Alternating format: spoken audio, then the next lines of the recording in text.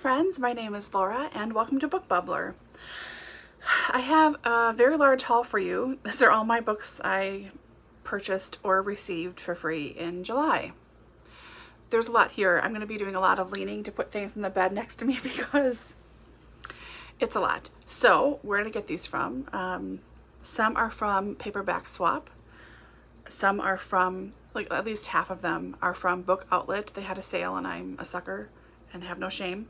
Um, some of them are from friends and some are from clients. I think that's pretty much covers where everything is from. So let's get cracking because it's a lot here. okay, so this first one is a box set and I have owned this individual books at a time and I've had two separate box sets of this series previously and have eventually gotten rid of them because it, the font is too small. They were mass markets, though I do liked the covers a lot. I do liked, wow, I did like the covers a lot. And when I think of this series, I think of these covers first because that's what I saw growing up. Um, but I promised myself if I ever found the series in a trade paperback version with the specific cover, I would buy it, no questions asked. And I found it. So what is this? This is the Anne of Green Gables series, um, Virago Modern Classics edition.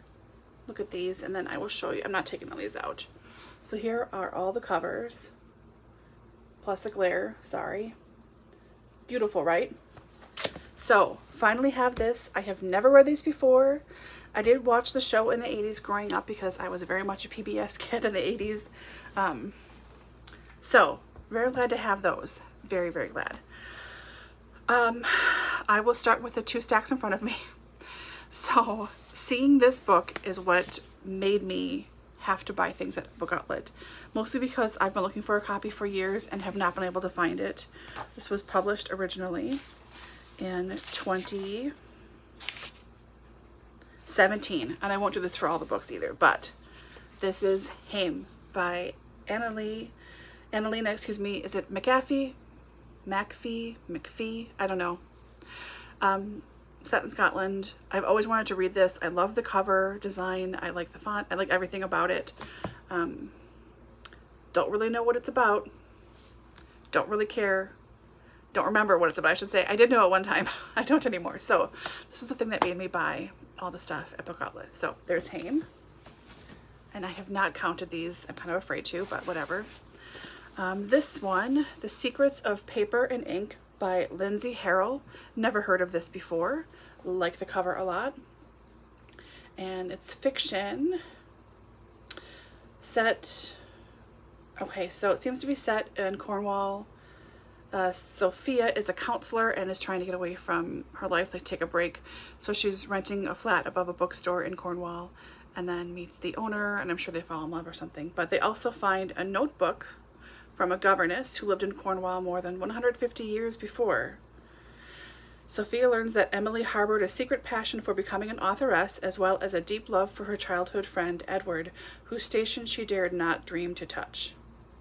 So, sounds good to me. Next up is a nonfiction, Devices and Desires, Bess of Hardwick and the Building of Elizabethan England by Kate Hubbard. This assumingly does what it says in the tin um, one of many mysteries, the start to a series, IQ by Joe, is it Ide? Ide? Ide? I don't know. But um, I've wanted to read this since it started. This is set um, in LA, I think. High school dropout. Mm, if you've got a problem, Isaiah will take care of it. His rate's adjustable to your income or lack thereof. So yeah, like a private investigator series. It's supposed to be very good. Ugh. Again, apologies for all the leaning out of frame, but I gotta, I gotta put this stuff somewhere. This one I've been trying to find for years and have not been able to. This is Riding the Elephant, a memoir of altercations, humiliations, hallucinations, and observations by Craig Ferguson. I love Craig Ferguson. Um, no, he's not perfect. Nobody is, but I really like him. I sincerely miss his talk show. It was so good. I think about him and Jeff probably more than I should, but glad to have this. Uh, this one is one that I read in college. thought that I liked it, but I don't remember much about it. This has gotten confused with other books set um, on the same time, not set, written around the same time. This is 18th century, I believe. The Expedition of Humphrey Clinker by Tobias Smollett. It's, um, in my brain, it's sort of like, oh my gosh, I, I totally blanked. But it reminds me of this, um, what is that? Not Scarlet Pimpernel, but I don't know. It's a great video. Laura, you're doing such a good job. Um, anyways, so I wanted to reread this and it was extremely cheap or free. This one, I'm very happy to find it and I never saw this cover before either. This is Passing by Nella Larsen, a classic about a woman, um, African-American in 1920s Harlem who I think can pass as white. She has been passing as a white woman married to a racist man who does not know her true identity. So it's Claire who's passing as white and then her friend Irene who is African American. I mean, I, you've seen this around everywhere. I'm looking forward to finally reading this. Um, and yeah, happy to have a copy. This one I was so shocked to read too. It is large print, but I don't care because I'm old and it's nice to me to read. Look at this. Oh, lovely. This is The Heiress by Molly Greeley. Um, this is about the imagined life of Anne de Bourgh, the daughter? Is she the daughter? Yes, she's the daughter of the most esteemed Lady Catherine de Berg, de Bourgh from um, Pride and Prejudice, of which I still have not read, I know. Um, and um, this imagines her life. So Anne is supposed, we see her very briefly, but she is supposed to marry Mr. Darcy. Like since they were infants, they were essentially betrothed to each other until Darcy goes and screws it up by falling for Elizabeth Bennet, and who wouldn't? So we hear about Anne's life, about her addiction to opium, struggling with things, and finding out if she's trying to figure out for herself if she really is as sick as she's meant to be, she has all these problems that everyone tells her she has, or if they've just gotten her hooked on laudanum. So yeah, it should be good. And I feel just like I need to say I will be reading Pride and Prejudice before I read that book. Okay, now, so for those of you who have been here for a little over a year, you'll know that last year I tried to read my very first Brandon Sanderson and I DNF'd it. Not because I thought it was bad or anything else, but because I just, my brain wasn't there. It was just the wrong time. And I think also it was too much too soon, like jumping in the deep end and then staying underwater. Do you know what I mean? That's how it felt. So, um, what is the first book, what is the book called? People are yelling at me. It's the Oathbringer series. Whatever the first one is, I don't remember.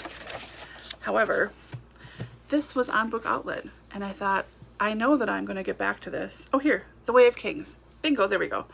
Um, and this is new, and it was there, so I got a copy of Rhythm of War, this big baby.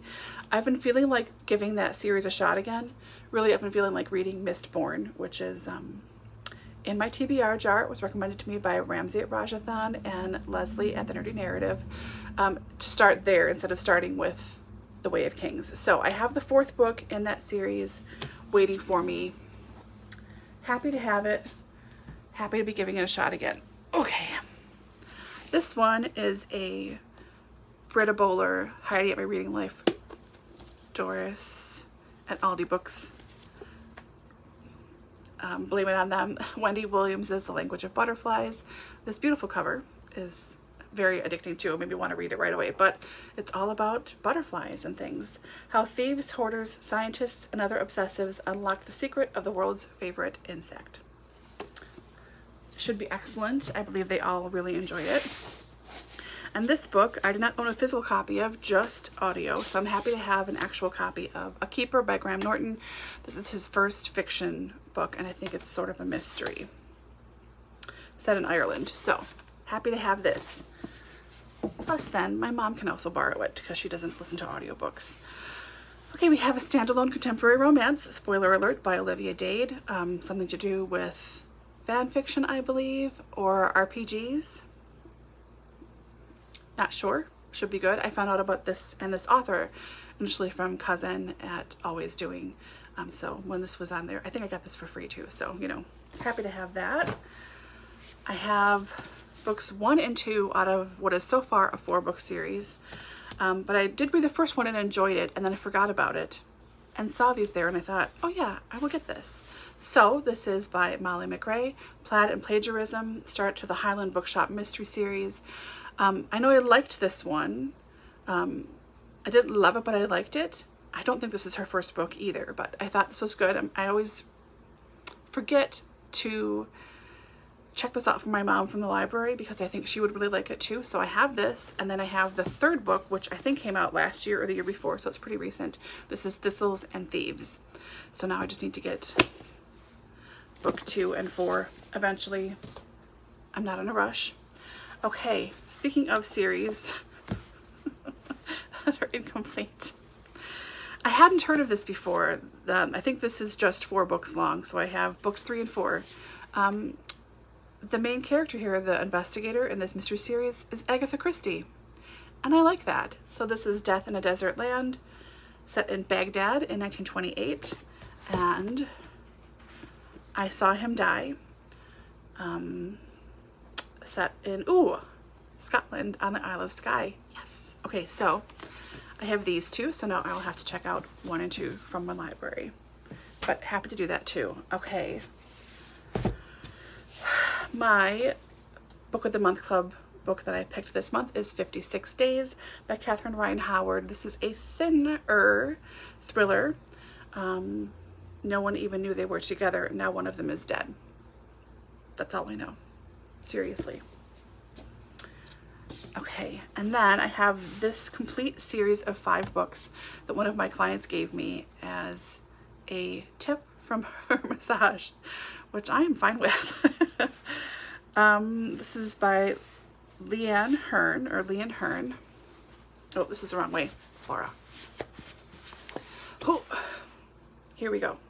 So this is the Tales of the Otori series. Um, the first book is Across the Nightingale Floor. Um, there is, uh, let's see, some kind of floor uh, that was installed that surrounds where the emperor sleeps. Um, and any kind of weight on it it creaks and it will alert guards and anyone else that there's someone trying to come in and assassinate the emperor. I keep saying emperor I hope that's correct. Um, but there is a woman I believe him no boy um, who can somehow he's figured out a way to walk very lightly so he has no weight so people are trying to task him with going to kill the emperor. So here's book number one, Across Nightingale Floor. Book number two, Grass for His Pillow. Three, Brilliance of the Moon. Four, The Harsh Cry of the Heron. And the last book, Heaven's Net is Wide. I should say Lian Hearn is a pseudonym for a female writer. I forget what her real name is. I apologize. Um, and she has written another series too that I own the first book of, also set in Japan. I will try and insert an image if I can remember to. Haha. um, but I've had that one for a long time, that one book sitting out here. So happy to have more. And um, my client, I should say, has read the series twice and she loved it. She said it was so freaking good she couldn't believe it. Um, but she wouldn't reread it again. So happy to have them. All right, let's pull the last three stacks over. And, okay. Are you still with me? I hope so. So this stack is all different kinds of Harlequin romances. These are all from Paperback Swap um, that just cost me credits. So I have some Nocturne books. His Forgotten Forever by Michele Hauf. Bewitched in the Dark. Something vampire I don't know. We have a Intimate Moments by Silhouette, Deadly Reunion, um, Whirlwind Marriage to a Bounty Hunter. He left her and then now he comes back as he's trying to arrest somebody and this guy, some killer or whatever, has set her in his sights next. So there's that. I have, ooh, yes, Harlequin Gothic. These were out in the 80s and I'm trying to slowly collect them. I'm not trying to be a weirdo about it like I normally would and go full hog and get everything at once. But this is Return to Shadow Creek by Helen B. Hicks. She returned to the place of her birth only to discover a sinister web lurking in wait for her. Okay, these are book one and two in the Mission Family series by Tracy Montoya. There is House of Secrets and Next of Kin. This is um, involving a family, I believe, who are part of the Witness Protection Program, and the person who is stalking them finds out where they are. So they have to try and escape with people. I don't know. It sounded good at the time. Um, this I got for free. It's part of the Men in Uniform series, which is a loose series, I think. Surprise Inheritance by Charlotte Douglas. Um, Welcome to Millionaire Montana, where one lucky lady has just received a surprise inheritance. Something to do with a library, too. That's what made me request it. And then this is another Nocturne book, Dragon's Den by Denise Linn. Obviously about dragons. His estranged wife, he and his estranged wife must unite to prevent the evil force from unleashing a supreme reign of terror. So, what are those? Okay. Another one from Paperback Swap, Irish Girls About Town. Um, I really like Maeve Binchy's writing and I'm slowly collecting her books. This is one I didn't own yet. So it's a collection of short stories from uh, 13, 14, 15 different Irish writers. So should be good. Um, this was a freebie from my friend Shell. Digital Fortress by Dan Brown, Scott Nell, I know. Um, but I had this at one point, got rid of it, and I decided, you know what, I do want to read this. Because, like it or not, he's a very readable author. It's not high literature, it's not trying to be, but it's a darn good read from everything I've read of his previously. So, happy to have this. Um, I did have another, well, that's, that's fine, it's underneath stuff. Okay, I have two more books by an author I've read previously and really enjoyed. These are both standalones. So this is A Dangerous Duet by Karen Odden. The book I read of hers previously was Lady in the Smoke, set in the Victorian era. Um, she, this lady is on a train by herself, heading, I think, from London towards her home where she's from. And there is a big train accident um, people are like lots of dying, lots of like people explosions. It was horrible, um, but she somehow survives. She was very badly injured, but she survives, and she helps a um, doctor who was on the train. So while she's trying to help him, she's a pretty independent person. Uh, they find out that there was a bunch of gold on the train. That's why it was sabotaged and exploded.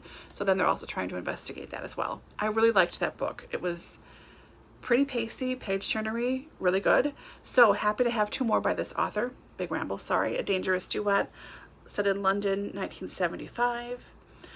19-year-old Nell Hallam lives in a modest corner of Mayfair with her brother Matthew, an inspector at Scotland Yard. She is a musician, tries to earn money herself by playing piano at the Octavian, a popular music hall. She has to disguise herself as a man, and she stumbles upon a dead body. There's that one, and then there is A Trace of Deceit, also by Karen Odden. Um, oh, this is the first or second in that series. This must be, these, these are listed as standalones, but Matthew Hallam is also a character in this. So, I don't know. Something about art student and a theft or something. Not sure. Should be good. Oh yeah, um, I ordered some stuff from um, Blackwell's because I have no shame. So I have What White People Can Do Next by Emma Dabiri very thin. Stop the denial, stop the false equivalencies, interrogate whiteness, interrogate capitalism, denounce the white savior, abandon guilt. It's talking about racial injustice in different ways. So hopefully this will be educational for super white mean. Even though I am pretty liberal, pretty, I'm extremely liberal, who am I kidding? Um, then I have this nonfiction, which was everywhere in the UK. If you watch a British booktuber at all, I'm sure you saw this at some point. I Am an Island by Tamsin Calidas. Tamsin um, arrives in a remote island in the Scottish Hebrides. It feels like coming home. So she and her husband leave London and their jobs to move to this island for, is it one year? A while. Um, so when they get there, the locals are not welcoming. They are very distrusting. Her marriage breaks down. He leaves and she gets ill. She gets really sick by herself. So she's stuck on this island very far from anyone who knows her. And people are hostile and whatever. So I think this had some controversy around it. I don't know. I try not to listen to that kind of stuff. It just sounds like an interesting book. And it's nonfiction. So here for it. Another one I've been trying to find um, used somewhere, anywhere in the States and haven't been able to, is Invisible Women. Um, Exposing Data Bias in a World Designed for Men by Caroline Criado Perez. This was part of the um, Booktube Prize, was it last year or the year before? Um, and I have always wanted to read it. Everyone who has read it has said it has been very good or good with a few caveats, but still, I am looking forward to reading this one for sure, like everything. Do a drinking game where you say how much I'm looking forward to this and you take a shot every time I say it. You're going to be blot, blotto, blitzed out of your mind by now. This one I've shown before in other things. Um, I was supposed to read this as part of a weekend long group read over on Litsy um, and did not get the book until after the weekend was over, like the day after it ended. I got it. So I still would like to read Orkney by Amy Sackville. Um, it's um, set on Orkney. Surprise, surprise. So it's about a couple that gets married. She is younger, he is a little older.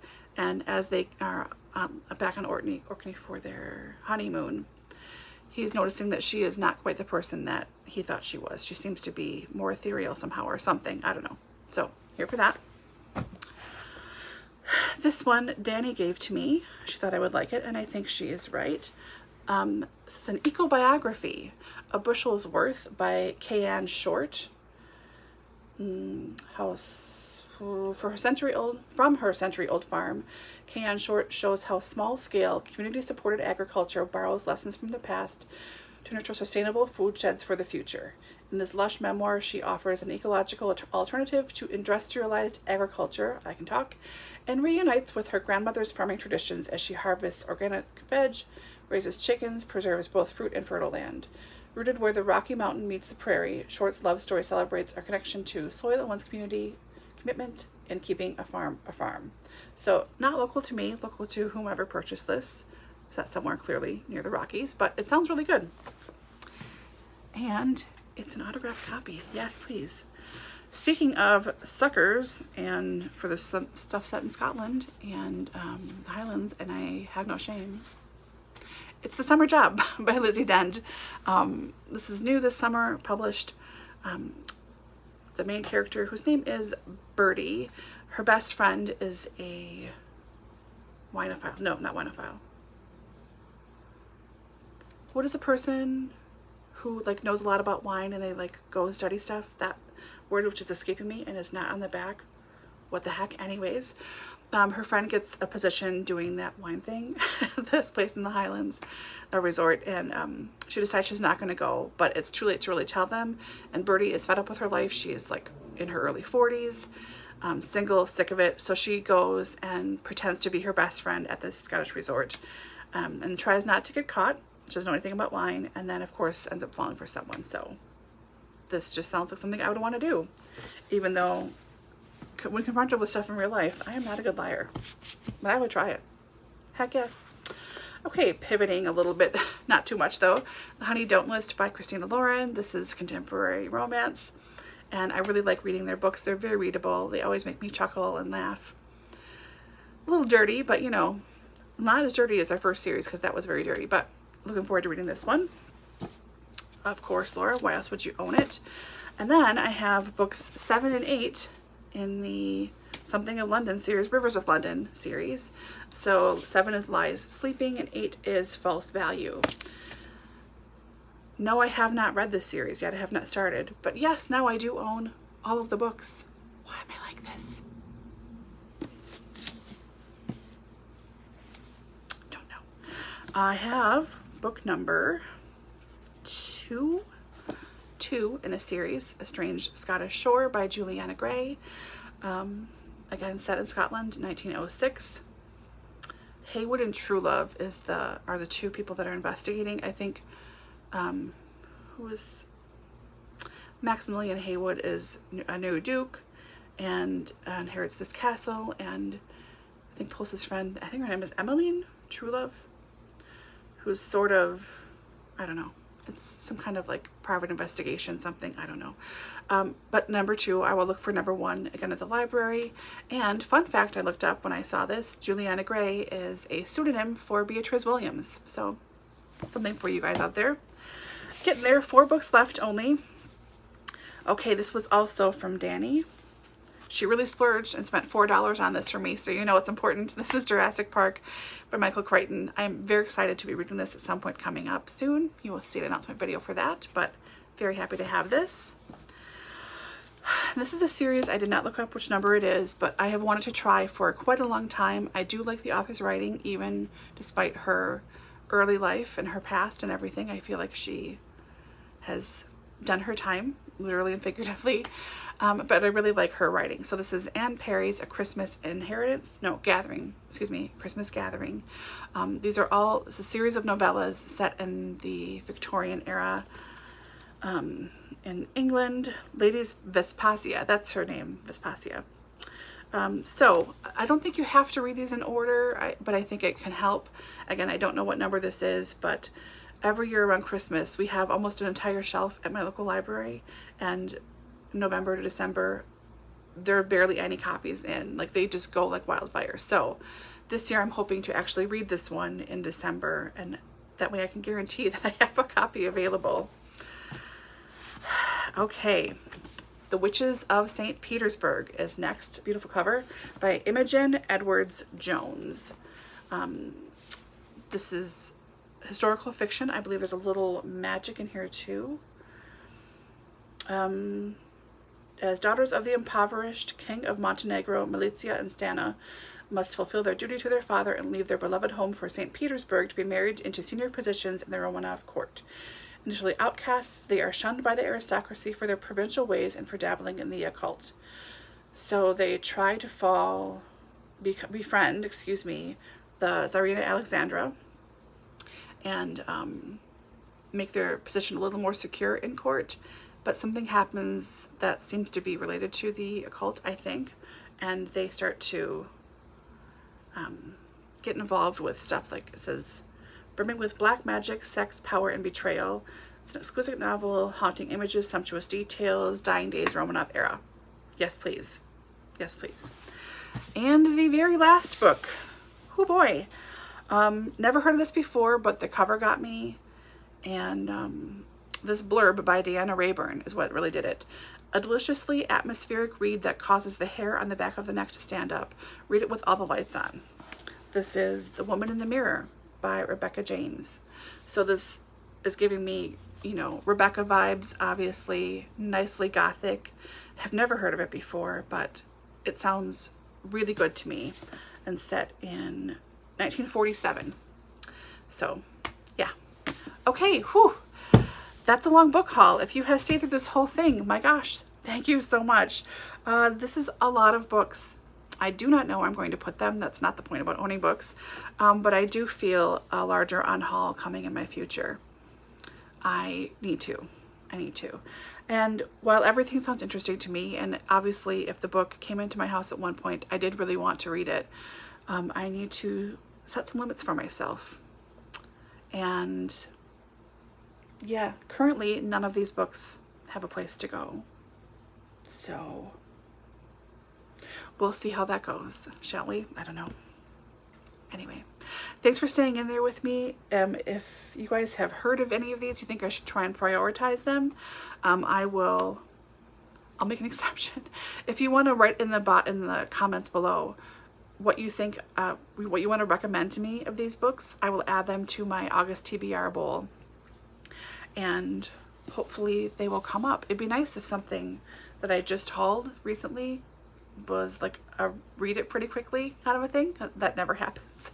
Um, but yeah, um, hope you guys have enjoyed this very long, very rambly haul here. And hopefully my August haul will not be as bad as this because. Okay, um, I will talk to you all very soon. Um, take care of yourselves and stay safe. And yeah, chat again soon.